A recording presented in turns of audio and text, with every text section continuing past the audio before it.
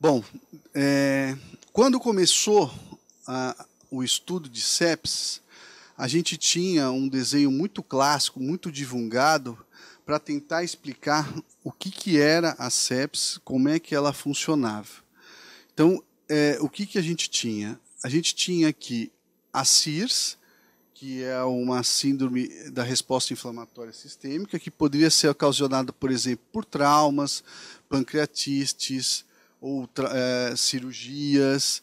É, temos, de um outro lado, as infecções propriamente ditas, as bacterianas, fúngicas, parasitárias, e um intermeio que seria, na verdade, a sepsis, com toda alteração é, que acabavam é, junto, ou seja, a sepsis junto com a CIRS, ou melhor, a CIRS acabava tendo dentro da sepsis, tá ok? Com os novos estudos, eles viram que uh, hoje a sepsis é vista da seguinte forma: uma infecção que provoca a sepsis com uma taxa de mortalidade de 10% no mundo e o choque séptico com uma taxa de mortalidade em torno de 40%. Vejam que hoje, o, depois das, da sepsis 3, tiraram a questão CIRS. Aqui é o primeiro ponto, eu acredito, é, de fragilidade que hoje a, a gente vem enfrentando.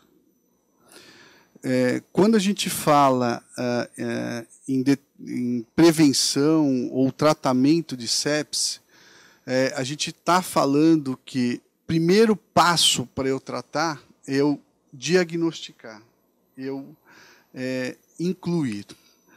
E lá atrás, quando eles desenharam esse modelo, é, houve um movimento mundial em educação, não só da parte médica, como da parte do corpo de enfermagem do hospital, em reconhecer esses sinais e sintomas. É, tem trabalhos no Brasil mostrando pesquisas feitas de médicos não intensivistas é, é, não reconhecem a sepsis em 45% das vezes. Infelizmente, é um dado que, é, apesar de ser uma patologia extremamente prevalente no mundo, lembrando que hoje, com certeza, ela mata mais do que o infarto, ela mata mais do que o, o, o acidente vascular cerebral, mata mais do que o câncer, mas ela ainda não é reconhecida pelo nosso grupo de médicos, ok? Então, aqui foi tirado o, o critério de CIRS e colocou-se como uma infecção provável ou diagnosticada depois uma sepsis e um choque séptico. Então, como é que nós estamos no cenário atual? A classificação antiga, sepsis, na qual não existia uma infecção sem disfunção, e é, hoje, como é que é? A sepsis só virou infecção, ou seja, não tem a disfunção orgânica. O que antigamente a gente falava de sepsis grave, virou sepsis, que nada mais é que a infecção ou suspeita com a disfunção orgânica. Mais à frente a gente vai falar o que seria a disfunção orgânica. De uma forma independente das CIRS. Aqui eu também, mais tarde, vou abordar como é que a gente tratou essa questão. E temos o choque séptico, que continua sendo choque séptico, que é a sepse que evolui com uma hipotensão que não conseguiu corrigir com, com a expansão volêmica vigorosa e que tem a disfunção orgânica. Ok? O que seria a CIRS? Que é síndrome da resposta inflamatória sistêmica. Nada mais é que a temperatura corporal maior do que 38, menor do que 36, a frequência cardíaca de 90 a frequência respiratória acima de 20 e o aumento do número de leucócitos. Isso foi definição de Sirius antiga. Vejam, senhores, que é, na prática, quando o, a, a, gente admite um paciente na emergência é, ou é, em qualquer local do hospital, às vezes até nas enfermarias ou mesmo dentro da UTI, é, é comum a gente aferir os sinais vitais. E muitas vezes, quando a gente vai é, estudar, o paciente fez uma febre, fez uma frequência cardíaca aumentada, ou ainda fez uma frequência respiratória aumentada e passou desapercebidos por todos os colegas. Aqui eu vou frisar, inclusive, um dos maiores desafios que, eu, que a gente teve lá, e eu acredito que todo mundo tenha, é na questão de frequência respiratória. Infelizmente, é um sinal vital que a gente aprende desde o começo das nossas formações acadêmicas, e ele é submensurado ou subutilizado e, e ele dá bastante dado para a gente. Lá para frente a gente também vai mostrar isso aí, tá ok?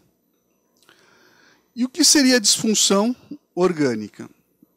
Por, seria uma alteração de lactato, alteração do nível de consciência, alteração de pressão sistólica maior ou igual a 90, ou a queda da pressão sistólica em 40 milímetros de mercúrio, uma PAM abaixo de 65, uma relação PaFO2 de 250, enquanto não é caso pulmonar, quando é caso pulmonar maior, menor ou igual a 200.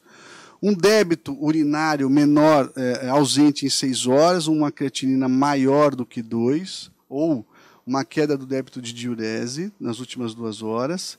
A plaquetopenia, alterações da bilirrubina, o distúrbio de coagulação, e aí veio um segundo nome do novo conceito, que é o SOFA, que era é, é, é, isso para o intensivista não era muita novidade. Esse esse esse score já era utilizado nas terapias intensivas.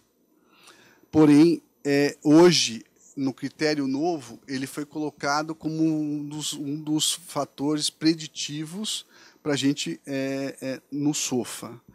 E observem aqui os senhores que eu estava falando. Alteração hepática. Quando maior do que 2, a gente já vai pontuar no sofá.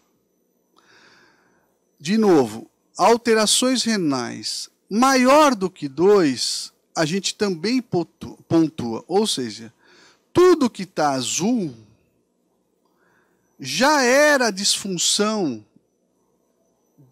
orgânica. Ou seja, será que gente, na prática a gente mudou muito? Na vida real, no conceito, no nosso dia a dia, no beira-leito, a gente tirou a, a, o CIRS, a gente tirou no novo conceito é, é, a, a disfunção orgânica? Pois eu acho que não.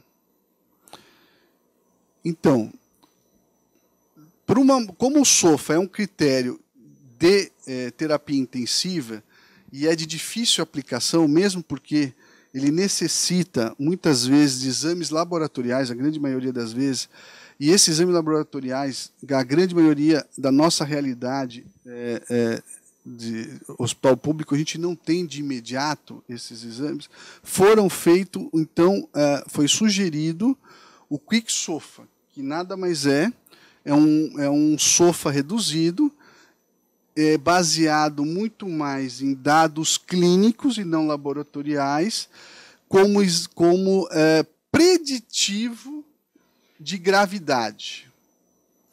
É, ele é de fácil aplicação, ele, ele consegue ser é, feito é, à beira-leito de uma maneira rápida, não só por médico, mas também por enfermeiro. E com isso a gente é, ganha de novo na detecção precoce da sepsis. Então, como é que a gente ficou hoje? Por definição, sepsis é disfunção orgânica potencialmente fatal, como a gente mostrou, causada por uma resposta imune desregulada. há uma infecção. E entendam desregulada é desregulada. Algumas vezes me perguntaram, ah, não é aumentada? Não, não é aumentada, às vezes é diminuída. É justamente ao contrário, às vezes ele tem uma leucopenia e não uma, uma leucocitose. Então, é, é justamente uma desordem no sistema imunológico. E o shock séptico, o que, é? Nada mais é que a sepsis acompanhada de profundas anormalidades circulatórias hipotensão, por exemplo, celulares e metabólicos, na quais que a gente está falando aqui são as disfunções orgânicas. Tá ok? Então, como é que a gente fica hoje no dia a dia? Como é que a gente divulga isso para a nossa equipe? Como é que a gente faz o treinamento? É, todo mundo que tinha um protocolo antigo vão ter que rasgar e começar do zero? Não. A gente optou por não fazer isso, tá? o que, que a gente optou por fazer? Hoje, o antigo, a gente tinha essa situação. Na nova diretriz pelo JAMA, a gente começou a, re, é, é, a renomear, talvez, algumas situações. A sepsis, hoje, é, inf é infecção com ou sem a CIRS. A sepsis grave, considerar sepsis. E o choque séptico é a sepsis grave com alteração hemodinâmica. É, lembrando os senhores que a gente é, a sepsis não pode ser vista é, apenas como tratamento é, médico. Por ser uma síndrome, a gente tem que ter o máximo também de simplicidade, talvez não seja a palavra ideal, mas clareza quando a gente vai montar algum protocolo, algum plano institucional, porque a gente tem vários níveis de profissionais e, e ele tem que ser claro, muitas vezes binário, sim, não, é, para que a gente tenha uma efetividade é, e que ele realmente aconteça dentro da sua proposta. Então, como é que a gente ficou? Hoje não tem mais sepse gráfico, SHOP, choque séptico. O que, que é importante? Cada, ainda continua importante. Uma identificação precoce. Um, Para que, que é identificação precoce? Para um menor tempo de tomada de decisão. Aqui, o tempo é fundamental. É, a gente percebe que nas emergências, infelizmente, muitas vezes, não só nas emergências, enfermarias, isso passa bastante desapercebido. E a gente tem que sensibilizar não só o público de terapia intensiva, mas o público da emergência, o público também é, do, do, das enfermarias, é, a identificação precoce e a importância disso. Porque a tomada de decisão aqui é fundamental. Isso muda muito o prognóstico. Para que, que a gente quer isso? Para diminuir a mortalidade e, por que não, redução de custo, uma vez que, que nem eu falei para os senhores, hoje falta leito de terapia intensiva, todo mundo sabe, no nosso país.